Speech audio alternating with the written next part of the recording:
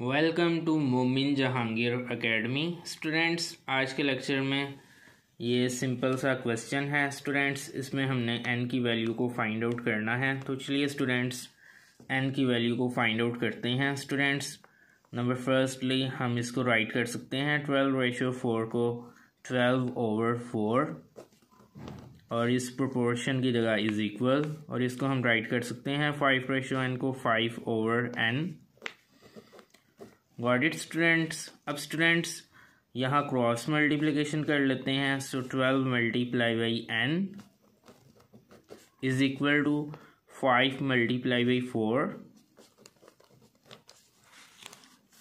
twelve N is twelve N is equal to five four is twenty अब students twelve right side पे आके twenty पे divide हो जाएगा। So N is equal to twenty divided by twelve N is equal to यहाँ students four के table से ये कटिंग हो जाएगी। So four five are twenty four three are twelve so N is five by three got it, students? So, it was our today's lecture. Now do subscribe like and share Momin Jahangir Academy. Thanks a lot. Allah Hafiz